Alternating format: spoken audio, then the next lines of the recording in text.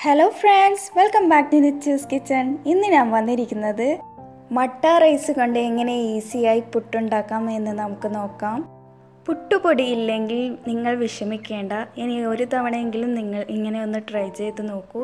അപ്പം നമ്മുടെ വീഡിയോയിലേക്ക് പോകുന്നതിന് മുമ്പ് നിച്ചസ് കിച്ചൺ ഇതുവരെ സബ്സ്ക്രൈബ് ചെയ്യാത്തവർ ഒന്ന് സബ്സ്ക്രൈബ് ചെയ്യുക. അതോടൊപ്പം താഴെ കാണുന്ന ബെല്ലൈക്കണിലെ ഓൾ എന്ന ഓപ്ഷൻ ക്ലിക്ക് ചെയ്യുക. അപ്പോൾ ഞാനിടുന്ന പുതിയ വീഡിയോസിന്റെ നോട്ടിഫിക്കേഷൻ നിങ്ങൾക്ക് അപ്പോൾ തന്നെ ലഭിക്കും. അപ്പോൾ നമുക്ക് വീഡിയോയിലേക്ക് പോകാം.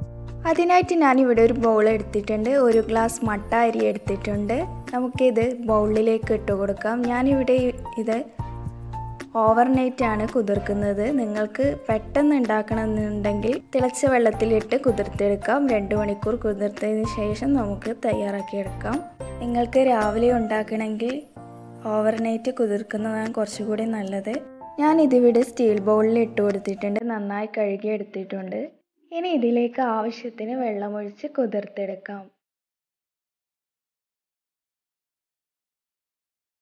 ഇതിവിടെ നല്ലതുപോലെ കുതിർന്ന് വന്നിട്ടുണ്ട്. നമുക്കിനിത് ഒരു സ്ട്രെയിനറിലോട്ട് ഇട്ട് ഒരു ഇരുപത് മിനിറ്റ് വരെ ഇട്ട് വെക്കാം. ഇതിവിടെ വെള്ളമൊക്കെ പോയിട്ടുണ്ട്. ഇനി നമുക്കിത് ഒരു മിക്സിയുടെ ജാറെടുത്ത് അതിലേക്ക് കുറച്ച് കുറച്ചായിട്ട് അരച്ചെടുക്കാം.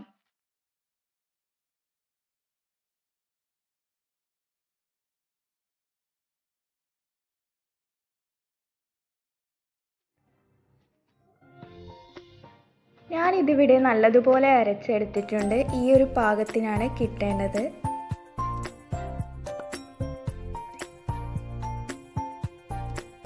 ഇനി ഇത് നമുക്കൊരു ബൗളിലേക്ക് ഇട്ട് കൊടുക്കാം. ബാക്കിയുള്ളതും കൂടി ഇതുപോലെ അരച്ചെടുക്കാം. ഞാനിവിടെ മുഴുവനായിട്ടും അരച്ചെടുത്തിട്ടുണ്ട്. നിങ്ങൾക്ക് കണ്ടാൽ തന്നെ അറിയാം.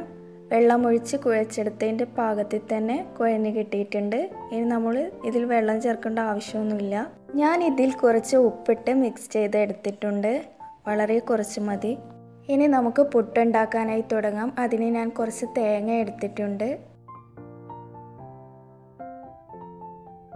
ഞാനിവിടെ ചിരട്ടപ്പുട്ടാണ് ആക്കുന്നത്. നിങ്ങൾക്ക് എങ്ങനെയാണ് ഉണ്ടാക്കുന്നത് അതുപോലെ തന്നെ ചെയ്തെടുക്കാം.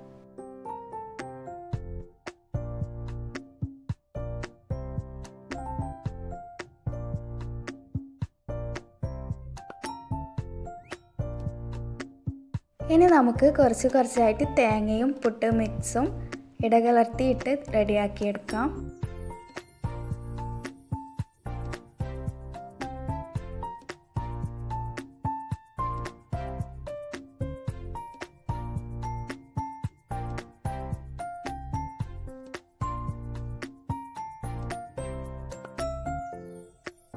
ഞാനിതിവിടെ റെഡിയാക്കിയിട്ടുണ്ട്. ഇനി നമുക്കിത് പ്രഷർ കുക്കറിന്റെ ആവിയിൽ വേവിച്ചെടുക്കാം.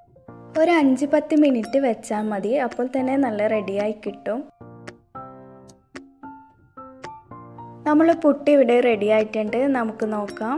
നമ്മൾ പുട്ട് ഇവിടെ നല്ലതുപോലെ റെഡി ആയിട്ടുണ്ട്. സാധാരണ കടയിൽ നിന്ന് വാങ്ങുന്ന പുട്ടുപൊടി ഉപയോഗിച്ച് റെഡിയാക്കി എടുക്കുന്ന പുട്ടിനാങ്കാട്ടി നല്ല രീതിയിൽ റെഡി ആയിട്ടുണ്ട്. നമുക്കിനി ഇത് സെർവിങ് പ്ലേറ്റിലേക്ക് മാറ്റാം.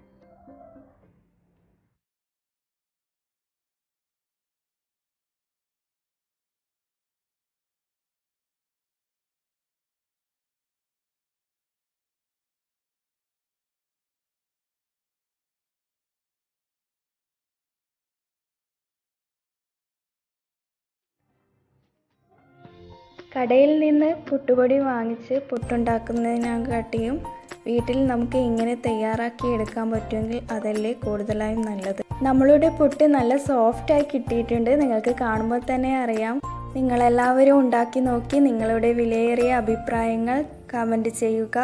ഈ വീഡിയോ ഇഷ്ടമായാൽ ലൈക്ക് ചെയ്യുക ഷെയർ ചെയ്യുക. അപ്പോൾ ഇനിയൊരു നല്ല വീഡിയോ ആയിട്ട് വരുന്നവരേക്കും ബൈ താങ്ക്സ് ഫോർ വാച്ചിങ്